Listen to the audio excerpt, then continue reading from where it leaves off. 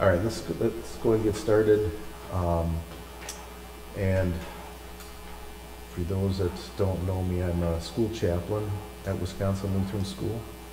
And since, and, and I also have a teaching background. I taught for ten years before I became a staff minister.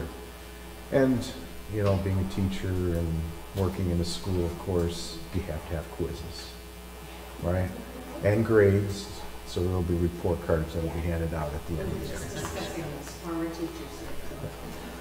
Quick pop quiz here. How well do you know the Christmas story? We're going to be going through Luke 2. And a lot of times you get, you know, the Christmas postcards and you get the, uh, you know, the, the, the visual images that you get in pictures and stuff like that. And, and sometimes it's hard to separate fact from fiction. What exactly does God's Word tell us? Because there were no wise men back then. That's, yeah, that's not one of my questions, but that, that is, that would be a good one. All right, first one. And some of these will be easier than others. First one, who ordered the census? Was it A, Herod, B, Caesar Augustus, C, Joe Biden, or D, we don't know? Okay? Get your, keep your answers in, in, you know, in your mind. And if you put Joe Biden, you could leave. Number two. This one's, I think, a little trickier. How many angels first appeared to the shepherds?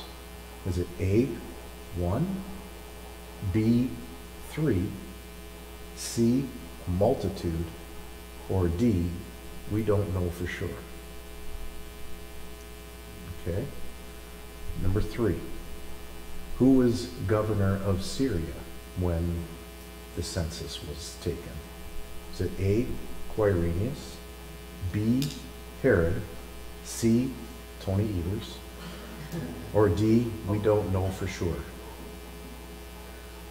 Number four. What did the innkeeper say to Mary and Joseph? A, we have no room in the inn. B, you can stay in the stable. C, what are you doing here? Or D, we don't know for sure. And number five, how did Mary and Jo- Joseph get to Bethlehem? A, they walked.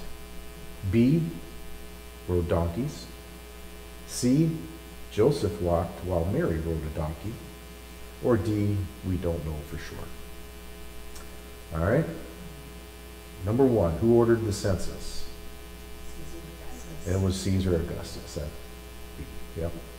Number two, how many angels first appeared to the shepherds? One talked, but we don't know how many were there with it. I'm betting it was just the one because otherwise they were gonna be so scared. The only ones. They were terrified. Yes, they were. Everybody's going to go with one? Any other answers? It's one, yeah. Because it says, an angel appeared to the shepherds, and then a multitude came, right? But it gets you thinking, yeah, what is the, know, okay, here's, here's, uh, I think the toughest question. Who was governor of Syria? No. Well, we don't know for sure. This, I, I was in, the People's Bible, when, when I was reading in the People's Bible, um, and, and putting this together, I didn't know this, but, um, this is like the, the Bible critics, you know, the people that are trying to disprove the Bible and whatever. Uh, they'll say that Quirinius wasn't governor of Syria because they do have records saying that he began governor around uh, 10 years after Herod. So that's where the Bible critics are saying, oh, so the Bible's wrong. Quirinius wasn't really governor during that time. However, in the People's Bible, it says quite possible that he had two terms or, or whatever, like maybe he was governor, because it's it, it makes a, a point in saying the first census, Yeah. you know, another possibility in the People's Bible, what they say is with the Greek word of first could also mean prior. So it could be read as the census prior to Quirinius being governor. So there is a possibility that Quirinius wasn't really governor at that time. Most likely he was, but we don't know for sure. So that, we don't know for sure is the right answer. But most likely he was. Uh, number five, what did the innkeeper say to Mary and Joseph? We don't know for sure. Yeah, yeah. Doesn't tell us. And, and how did Mary and Joseph get to Bethlehem? That's, that's how it's typically pictured in the uh, Christian art, isn't it? We don't know for sure, right? Because the Bible doesn't say, you know, they could have just walked. Maybe somebody let them use a donkey. You know, who knows? But uh, yeah, the Bible doesn't say for sure. All right, so let's get into our Bible study. It's it's Luke chapter two. Yeah.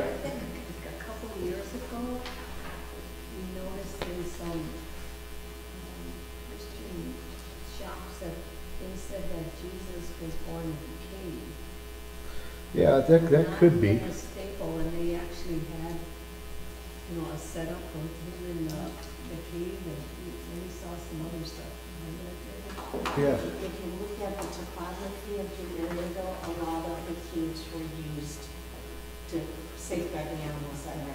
It's It quite possible. very, It's quite possible. Um, and, and wood wasn't necessarily as in abundance, you know? So, yeah, and, and also it's, it's interesting, uh, Professor Brug, I don't know if you guys heard him give his spiel on the EHV. One thing that he said, they were gonna drop manger and change it to like feeding trough. And when they were giving their spiel up in northern Wisconsin, some of the dairy farmers were like, why would you do that? That's what we still call it. So that term manger is still being used by dairy farmers still today, so No matter what it was made of. whatever, yeah, that feeding trough, so it's like, we'll keep using it, so. That was, yeah, that was kind of an interesting. They have this confused, say, away in the feeding. Just doesn't have the same ring, does it? Yeah. So why do we always go to Luke chapter two? You, you know, Matthew, Mark, Luke, and John, all four gospels, um, give historical account of Jesus, you know, his life, his teachings, his death, his miracles, his resurrection. But Luke seems to have the most uh, detailed account of Christmas. And why do you suppose that would be? And all about details. And he talked, he, and he talked to Mary. You know what? Most likely, Yeah. right?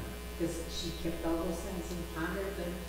In her heart, exactly. Yeah, you know that uh, when Luke begins his gospel, he, he talks about how, you know, he, he never had actually met Jesus. He became a Christian later, and he wanted to, to put together a thorough account. And, and he talked about how he investigated carefully everything about Jesus. So, like a good historian, you, you want to go to the sources. You want to go to the people. And, and he doesn't say that he talked to Mary, but as you read Luke 2, you, you, almost feel like you're reading everything from Mary's perspective. Like this is Mary's story. Um, why don't we do the first seven verses if somebody wants to read that?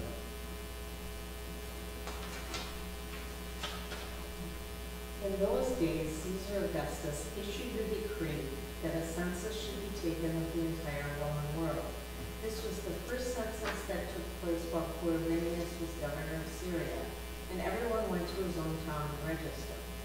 Joseph also went up from the town of Nazareth in Galilee to Judea to Bethlehem, the town of David, because he belonged to the house and line of David. He went there to register with Mary, who was pledged to be married to him and was expecting a child. While they were there, the time came for the baby to be born, and she gave birth to her firstborn, a son. She wrapped him in cloths and placed him in a manger because there was no room for them in the inn. All right. Um, verses 1 and 2 note the specific historical references that Luke supplies to pinpoint the Savior's birth and time. This was a real event, not made up for one reason or another. Caesar Augustus ruled over the Roman world from 27 BC to AD 14. You know what BC and AD stand for? Yeah, something like that. And then, yeah, year of the Lord, right? Uh, there's this, there's a secular reference dated AD 14 that Quirinius ruled in Syria. So, like 10 years after Herod died, Quirinius ruled up there. Um, and, and there's a, there's a good, there's, it's quite likely that it's off, like AD year of the, the Lord wasn't actually year zero. Because they, they didn't start dating like that until, um, oh, after what's his face, the Roman leader who legalized Christianity, Constantine. Yeah, after Constantine legalized Christianity, that's when they started using the, the, the years, and they used the year zero, but he was off by a couple years, most likely. So, not that it matters. Anyway, um, a census was taken to count the country's population and to establish a basis for taxation. Know, I know kids, when you do the Christmas story they, have no clue what, what a census is and what's the purpose of a census. We just had one last year, yeah. And, and you think about, uh, you know, from the, the Roman government perspective, it, it, it helped with, uh, having a good understanding of the empire. And I need X number of dollars or whatever the Roman coinage was, and, uh, you know, we, we need to make sure our military is in the right places, we need to make sure we're getting, especially for taxes, the, the, the right amount of revenue we should be expecting. Oh, we got that many people living in Jerusalem, well, we should get this much taxes back. All right, number one, what amazing conclusion must you come to regarding Mary and Joseph being in Bethlehem at the very time of Jesus' birth? Why else would a nine-month pregnant woman travel from way up here to way down there? Yeah, I don't care if it was on a donkey or a camel. I, I, I suppose camels could have been one of those questions or possible answers too. But uh, yeah, you're nine months pregnant. You're not going to wanting be wanting to do that kind of traveling. And it's it's it's a Like Flag to say, that's where you would be born. yeah, it's about a 90 mile trip. So was that about to. Chicago or Madison maybe? As the crow flies, it's about sixty, but they wouldn't go through Samaria, so. So, but yeah, because it was prophesied, right? What's that? Oh, yeah, it'd probably take them a while, that kind of stage, and that's also explains why everybody else had taken up all the rooms in the inn by the time they got there. But it's a reminder that God is in control, right? God is in control of all things.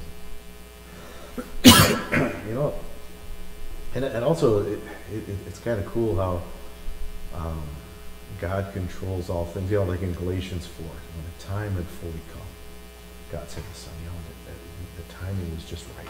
It was perfect. You know, everything, when you look at, you know, God's hand and over the whole setting, how perfect it is. You know, because, you know, it's, it's, it's during Roman peace. You know, I mean, and, and like years before this, you know, when, when Alexander the Great had kind of swept through the Mediterranean world, he set up the system of learning and started the tenets of Western civilization as we have it today. You know, this emphasis on learning, schools, and he started mixing the people around. You know, taking Jews and moving them to different parts of the Mediterranean world.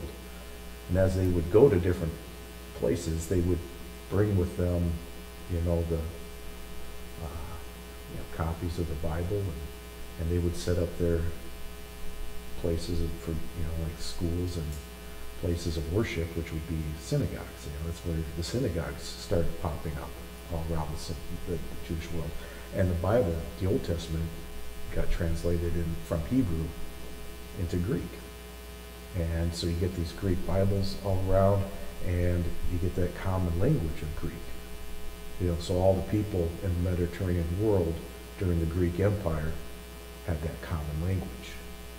The Jews would still hold on to their Hebrew, but Greek would become the common language for learning and for speaking. Um, and then when the Romans took over, they kept all that learning and philosophy and all that Greek stuff. But then, you know, their strengths were like building, Built the roads building great roads, right? and, and soldiers to protect. Soldiers to protect. So now, when the time had fully come, we got this time of peace, great transportation system, common language. I mean, it was just perfect setting for the gospel to, to just explode.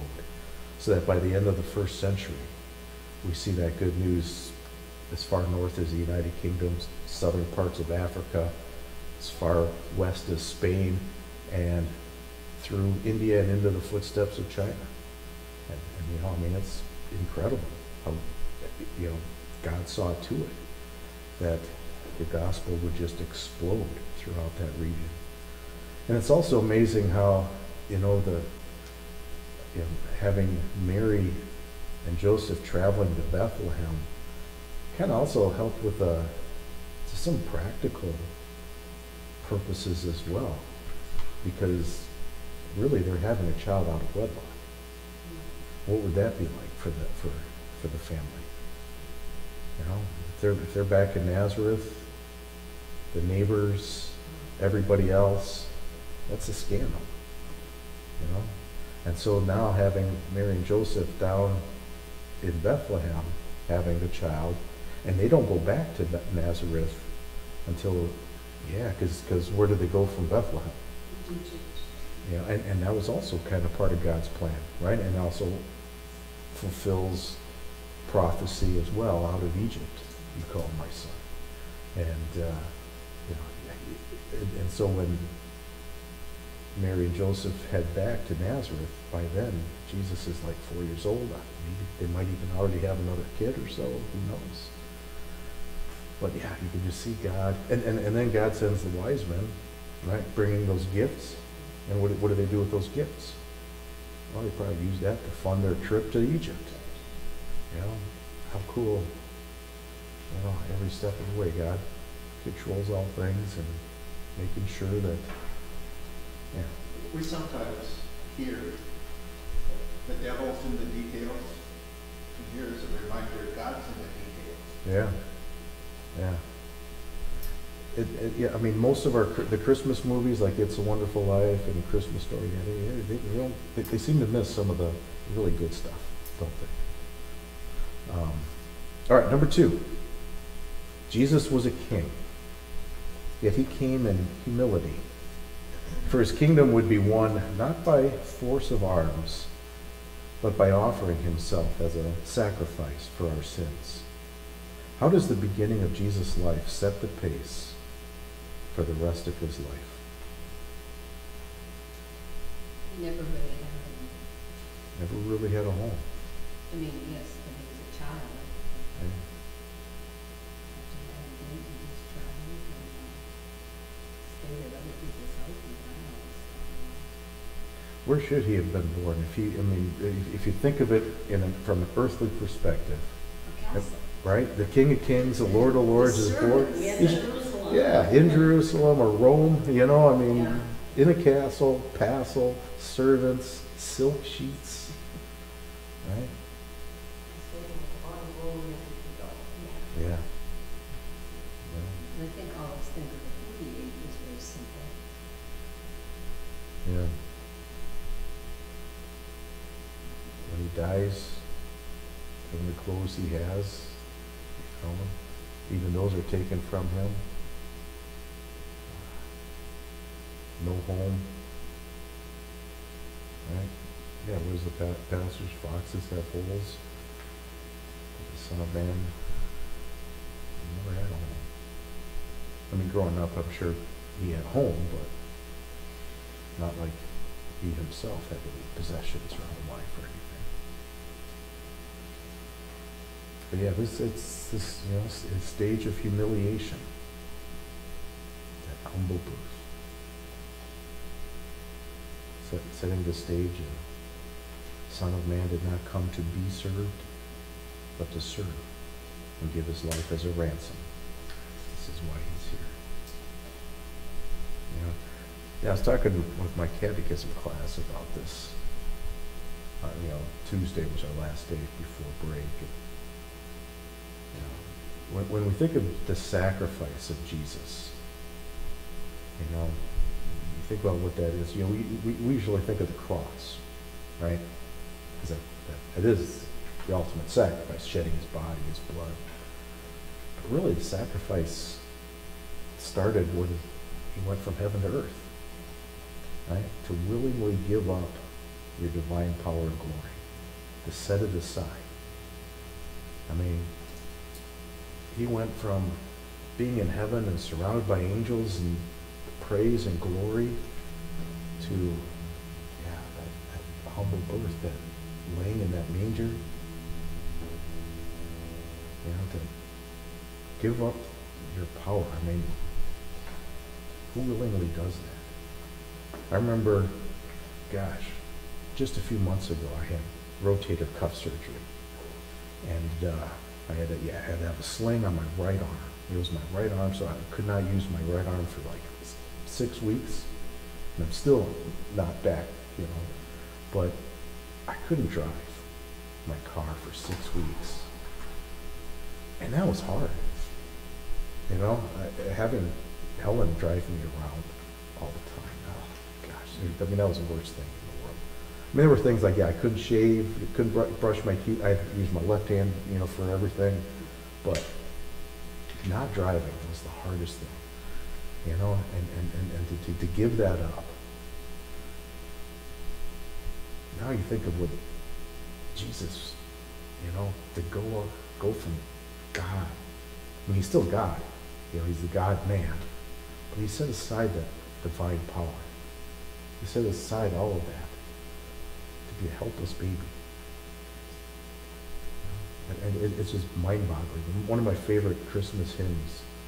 I, I really don't know if I've heard it too much this Christmas season, but Mary, did you know?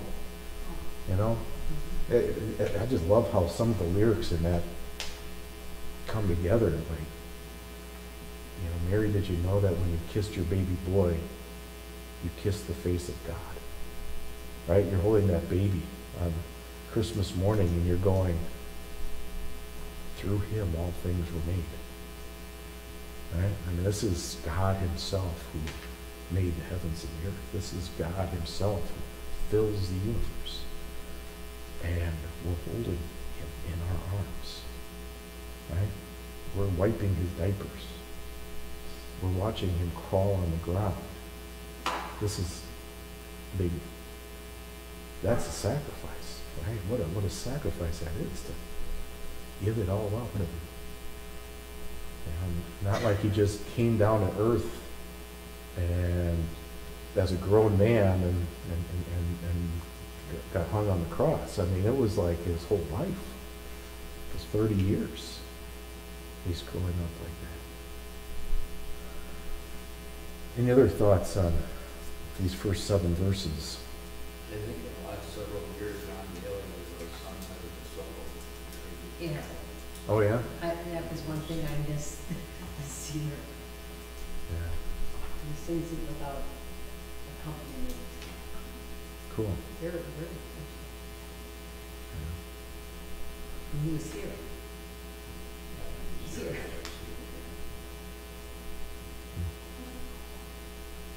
Next year. All right, eight through twenty. Um, why don't we divide it into two parts? Somebody want to read 8 through 14? And somebody else 15 through 20.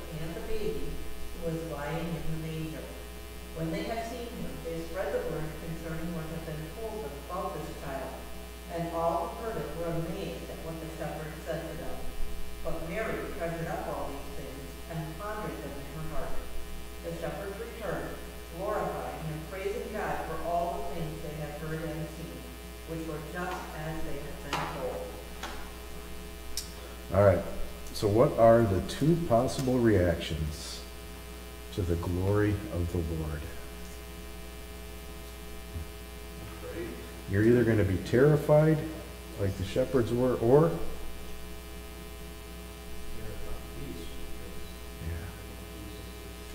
Yeah, you're going to be either terrified or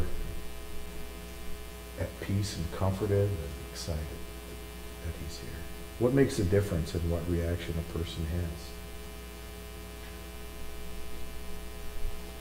Oh, when you know you're a sinner, if you're facing something directly from God, you gotta be scared. Cause you know, oops, I don't deserve to be to be here. So You know, yeah, guilt, you you can Guilt. say. I think you can have both of those reactions at the same time, too. Sure. Why, what, what would give us the peace? knowing that, that God's plan is being carried out now. Forgiveness. knowing that, yeah, we're, we're forgiven, right? That our, our standing with God is good because of Jesus. So with that, I would assume it'll be like that on judgment day. If you're still alive, it's gonna be, oh, it's happening, Right? and it's scary, but for us, it'd be like, yeah. Right? You know, you, hard to picture what Judgment Day is going to be like. You know, it's just, but it's exciting to think about, isn't it? You know, how cool that's going to be. All the angels appearing all at once. You know, the sky ripping open and the Lord coming through with all of his angels and all the people being gathered together, surrounding him in the air, like gravity ceasing to exist, right? Just caught up together. Yeah. Trumpet call. Will we be terrified? So there'll be some that will run out to meet him and others will run away. Try to, right? June What's that? I visit June Bureau, and she talks a lot about that. She said she would really like to be here when Jesus comes. And she, she did, this is what she said, she is not just gonna go up to him and come.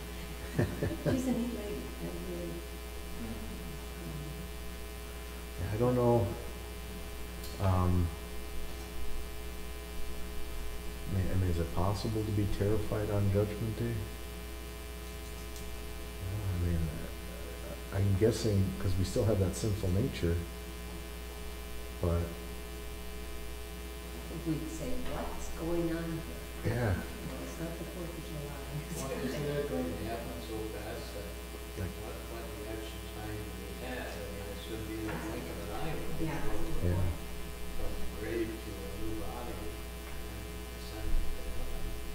As soon as that change takes place, then that sin. I mean, because it's the sinful nature that's going to cause us to be terrified, right?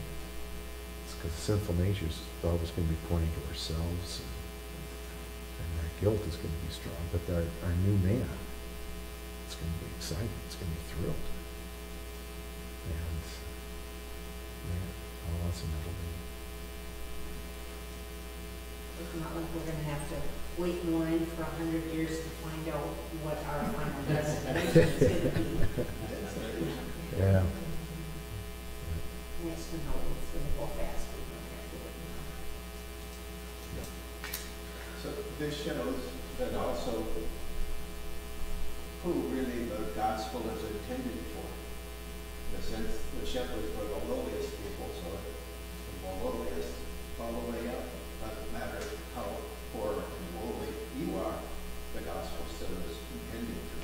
You know, boy, that's a great segue to that very next question. Why do you think God announced the birth of his son first to shepherds? Right? Isn't that, isn't that such a cool, cool way of looking at it? Because he, he came for the lowly. Right? He came not just for the kings and princes, but for the lowly, for the humble. Yeah. Shepherding wasn't a glamorous job. No. No. Right? Go, go watch a bunch of dumb sheep. Yeah. They could be smelly. And smelling. But yeah, you know, gotta protect them. Lions. When you work with them long enough, and you smell like them. Oh, sure, sure. Yeah.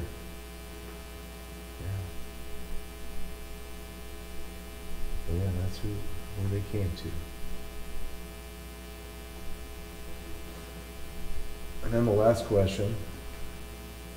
How did each of the following react when they heard about the Savior? The shepherds, how did they react to the good news? They left their sheep and said, let's go check this out. Right? And, and they told everybody, right? How about the people they spoke to? What was their reaction when they heard what the shepherds had to say? They were all amazed. And then Mary?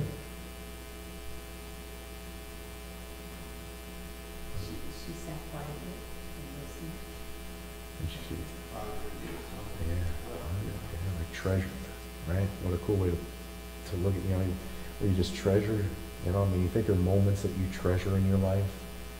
You know, this is what she treasured, you know, all of these moments of time. And what, what a great, I guess, way of looking at, you know, this is what we should be doing too, shouldn't it? Treasuring up this good news. Being amazed at the good news that he would do this.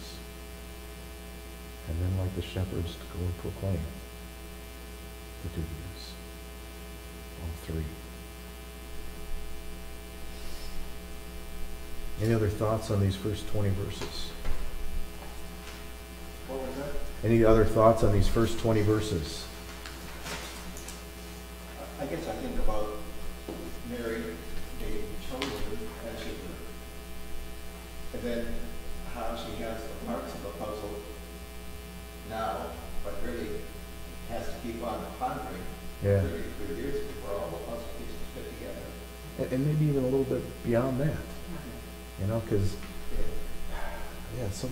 The disciples, how they got all these pieces, but it wasn't until Pentecost that it all came together.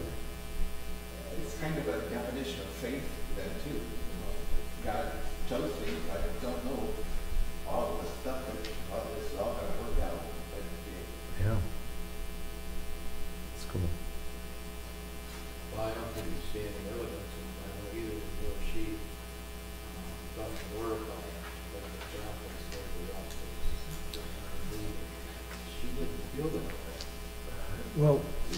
felt, I mean, felt chosen, but. chosen, all nations will call me blessed, you know, or blessed. You know, how fortunate she was.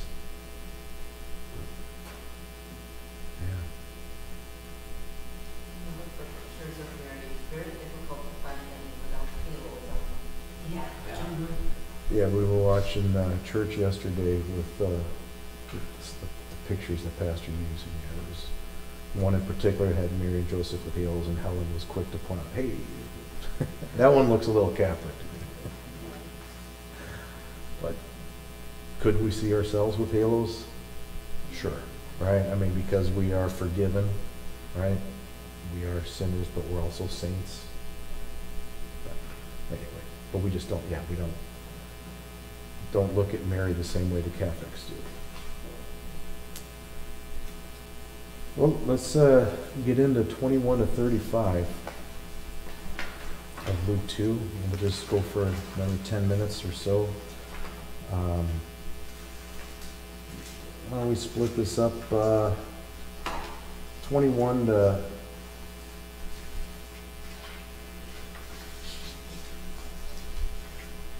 what would be a good place? About twenty-one to twenty? About twenty-one to thirty-two.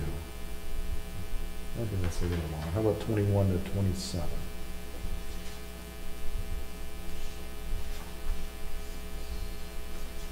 I can, I'll read that. On the eighth day, when it was time to circumcise him, he was named Jesus, the name the angel had given him before he had been conceived.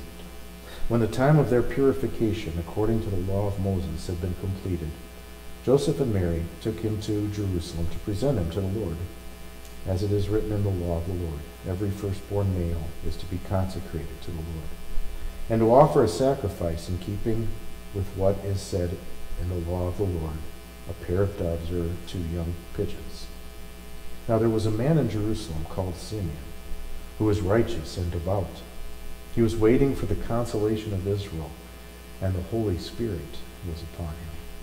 It had been revealed to him by the Holy Spirit that he would not die before he had seen the Lord's Christ. Moved by the Spirit, he went into the temple courts, and the parents brought in the child Jesus to do for him what the custom of the law required. And somebody want to read uh, up to 35? Simeon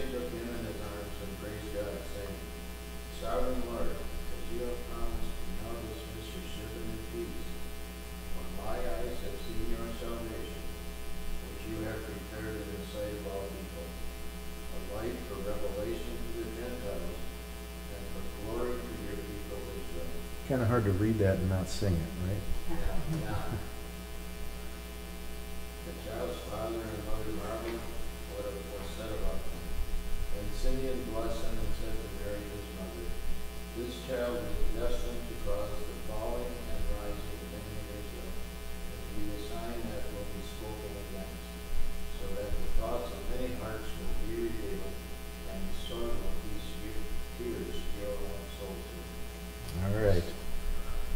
So, what is the law regarding circumcision? When, when did that start? Yeah, God choosing Abraham to be the father of his nation, that he was to be circumcised, and uh, every child after that was to be circumcised. And, and, and is that necessary today? Why not?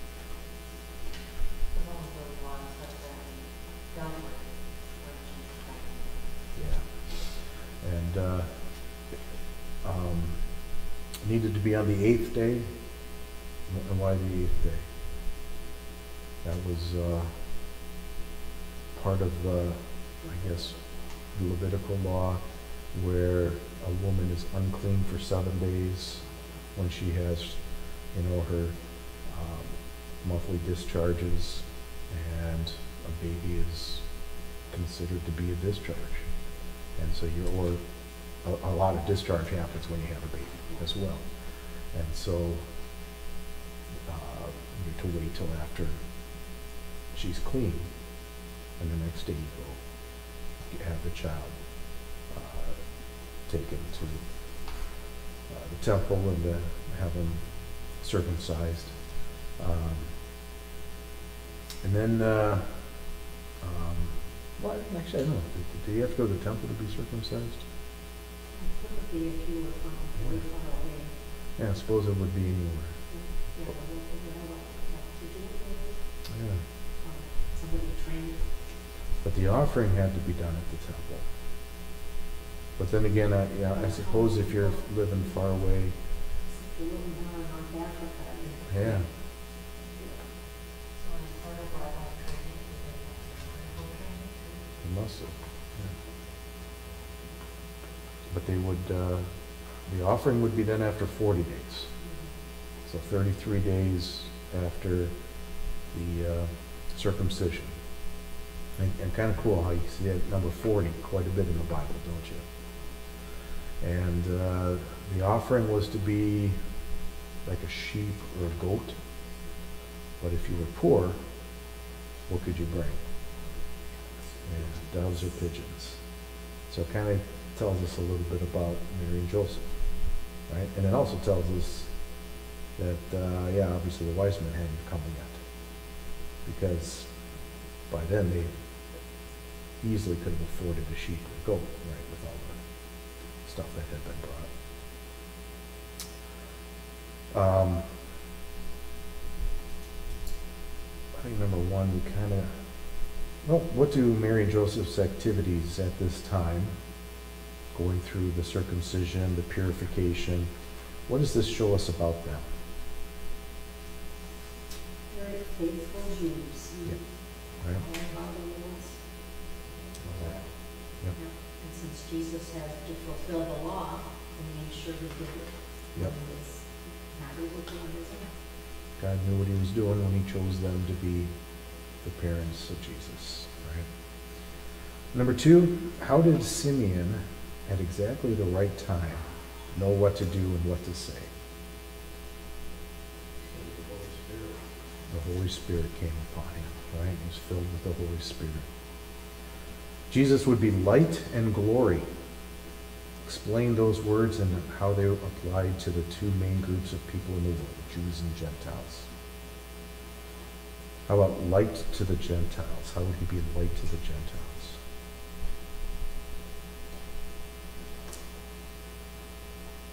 He's a light to help you find your way. Because kind of implies that the Gentiles were in the dark, right?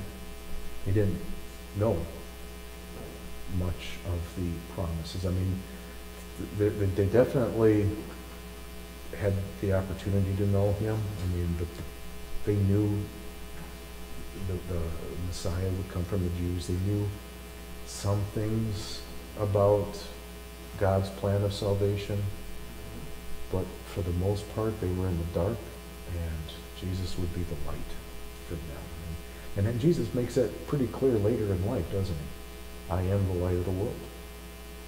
You know, and and and, uh, and you know, uh, he is is our light as well. That uh, sin has blinded us, and because of sin, we're not able to appreciate the ways of God and all that He's done for us.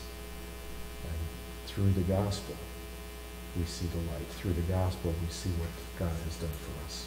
How about glory? How is He glory for the people of Israel, for the Jews? The Jews were the chosen people, and by the fact that he finally came from the Jews, yeah, yeah, Yeah. it was like, yes, He is our, He is here. we, yeah, God trusted us, and we Yeah. were able to get to this point. Unfortunately, we're still waiting. Kind, kind of like being a Bucks fan, right? You know, I mean, for 50 years you're waiting and you're waiting, you're, you, and probably so many people saying, "Why are you still cheering for that team? You know, why don't you cheer for the Bulls like in the '90s or, or the Lakers?" And, and, and then finally, or the Cubs, and then it's finally fulfilled, right? They, they win their championship, and you have that glory. Yeah, that's our team. That's the, you know, Jesus conquering Satan, sin, and death. He did it. That's our King. And yet you have how they tried to destroy the light. Well, and that's that's what I think that's the very next question, right? The the rising and the falling, right? Because for many, this is arising, right? He is the rock. He's the cornerstone of the church. On him, the church is built. Every believer is added to that. It's like a stone built upon the cornerstone, right? Ca- causing us to rise but he also causes many to fall. So, like, Palm Sunday, Good Friday would be the personification of that, rise up to greet him, singing his praises. Yeah. And then a few days later, crucify him. Yeah. And, yeah, you know, causing them to fall because on the last day, yeah, they're not going to be able to stand, are they? Um,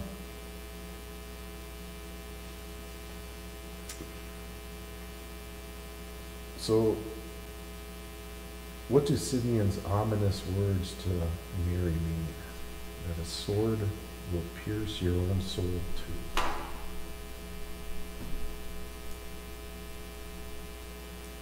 Would it be specific enough to say that she would actually physically see her son be pierced with the spear and she would be there? A mom feels what her kids feel, that, that she was gonna actually witness it. Yeah. I don't know if it's that specific. Um, yeah, I mean, uh, it is, it's talking about that heartbreak. Absolutely. Seeing your son going through that, it's got to be, even, you know, and, uh, did she know, you know, that him dying on the cross during that time was the victory for herself? Or was she just totally caught up with seeing her son going through that pain? Obviously, the pain has got to be huge to see him go through that. Uh, Last one, real quick here. The nunc dimittis. You- Now you are dismissing. Now dismiss. Why is that such a fitting ending to the Lord's Supper? You know, that like what Bill read there's you know, verses 29 to 31. My eyes have seen your salvation, which you have prepared in the sight of all people, light for revelation of the Gentiles, and for glory to your people, Israel. Why is that such a fitting ending to the sacrament of Holy Communion? Then it is that tangible evidence that it's in the forgiven. Um, peace with God.